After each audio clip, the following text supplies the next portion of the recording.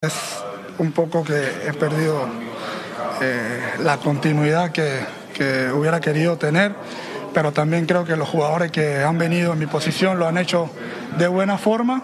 Eh, es una decisión que vengo eh, hablándola con mi esposa y con mi familia hace un buen par de, de tiempo.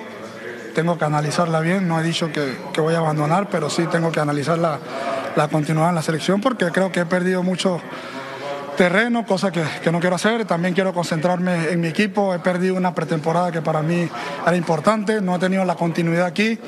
Creo que, que son cosas que, que, tengo que sentarme a, analizar y, y, tomar en, en cuenta la, las prioridades que debo tener para este semestre. Gaby, pero has hablado con, con, con Tomás porque da la sensación de que cuando inició